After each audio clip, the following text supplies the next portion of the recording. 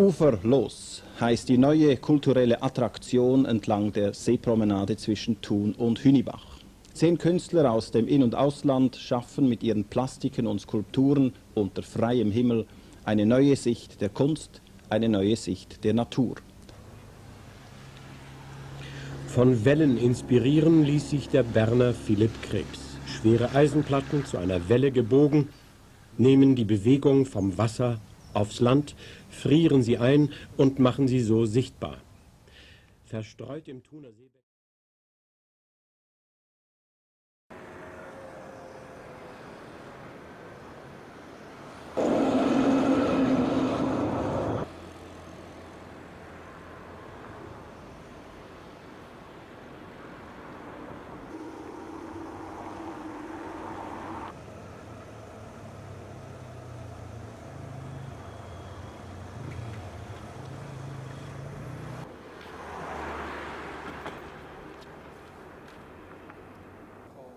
Äh, das Gebäck im Globus, ist mir das abholen? Du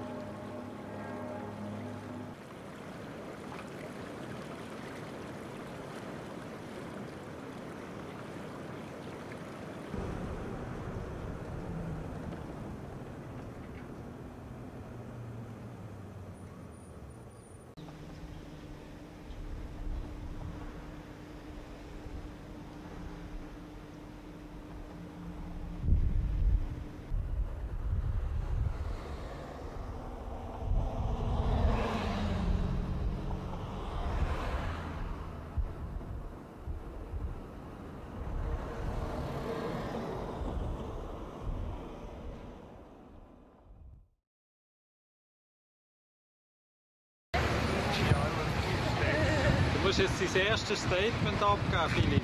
Es ist zu früh.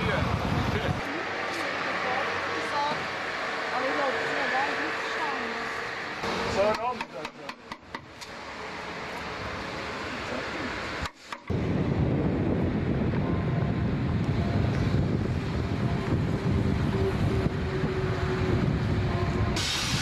Fahnenaufzug. Sonderhauser Performance ist das. Oh, das langt jetzt dann. Die Gegeli ist klar. Die Gegeli. Gut,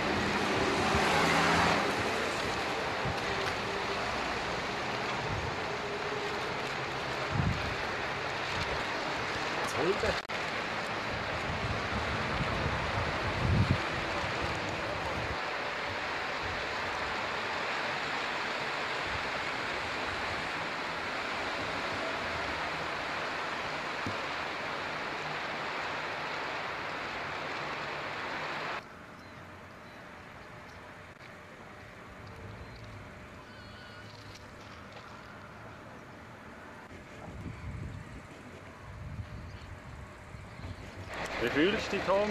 Fucking bad! Geht gleich weiter.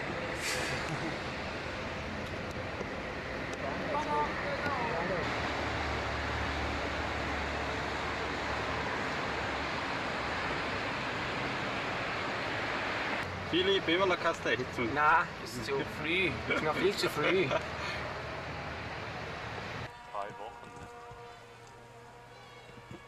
Sag ja,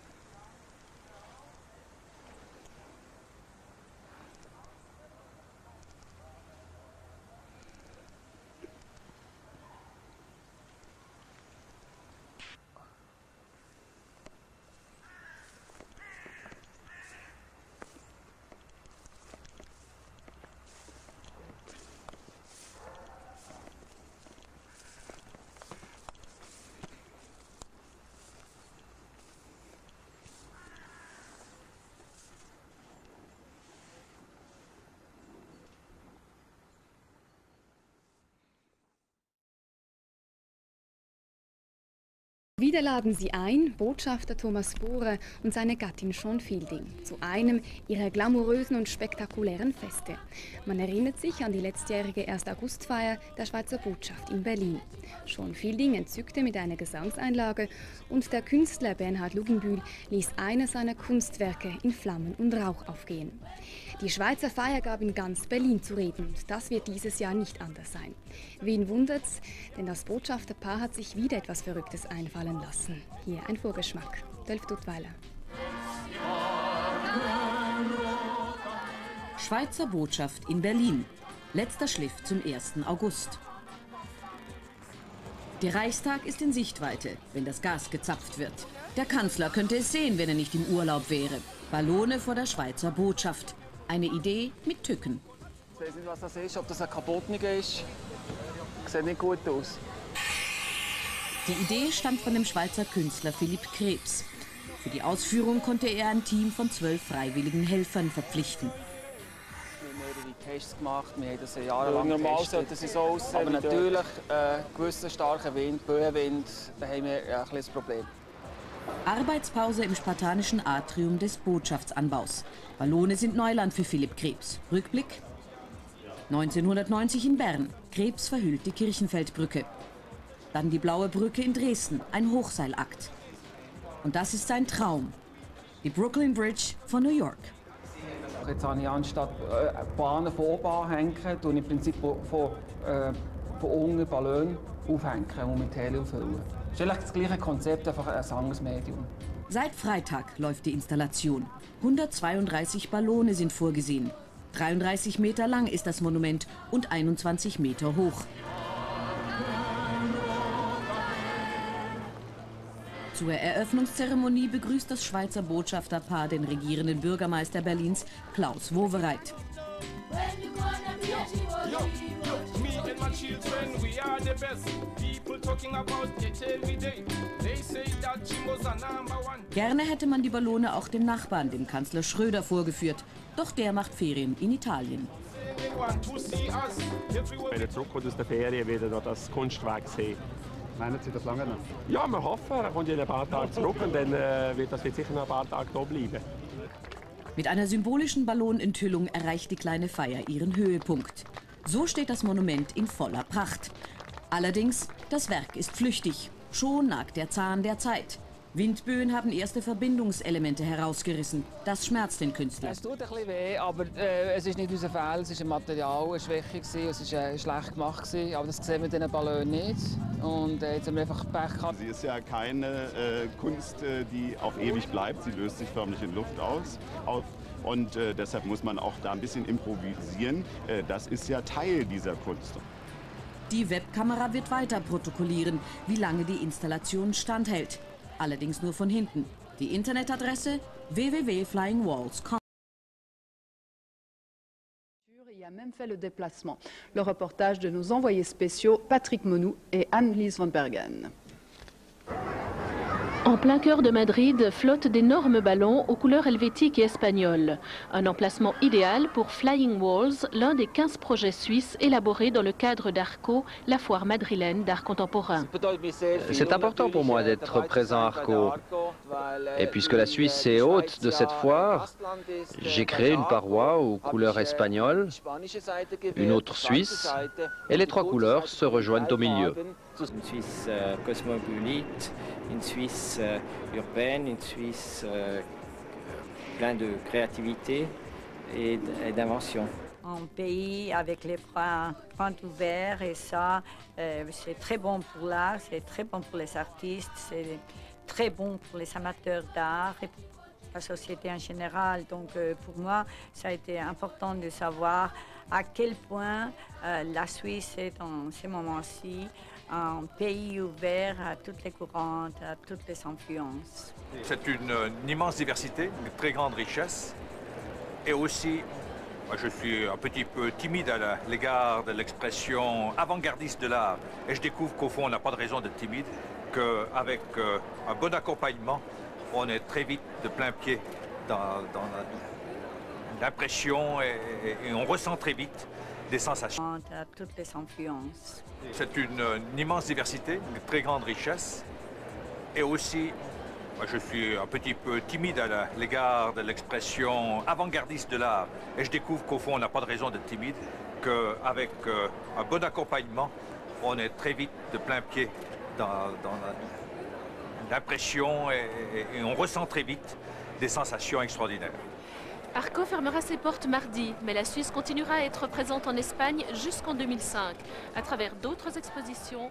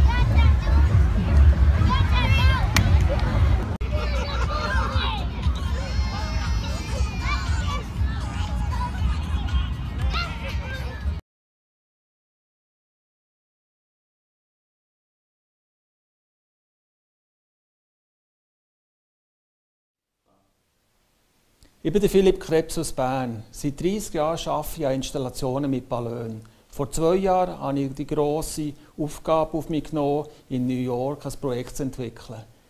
Vor ein paar Monaten haben wir von der New Yorker Behörde eine Bewilligung bekommen. Und im September 2020 wird es stattfinden. Wir sind hier im Modellbauatelier. Ihr seht mein Modell Roosevelt Island. Präsident Roosevelt hat in den 40er Jahren die vier Freiheiten niedergeschrieben. Redefreiheit, Religionsfreiheit, Freiheit vor Angst, Freiheit vor Not.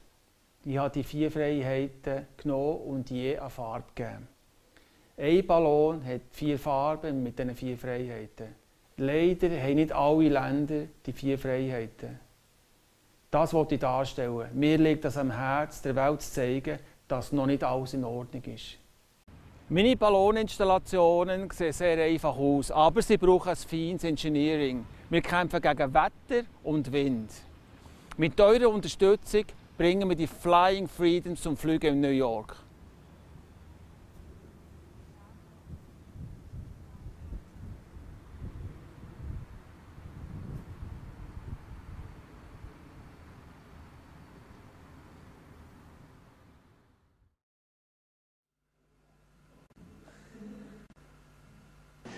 Ja, es ist... Ja, noch schnell müssen, das müssen absagen, oder? Dann denkst du, was machst du?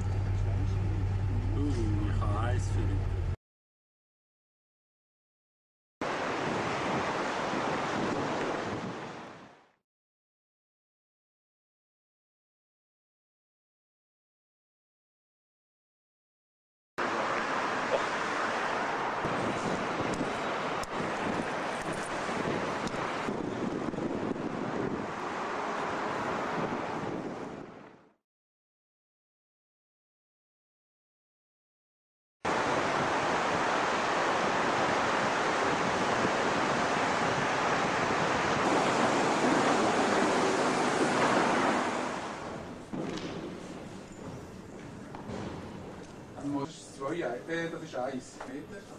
1,1. 1,1.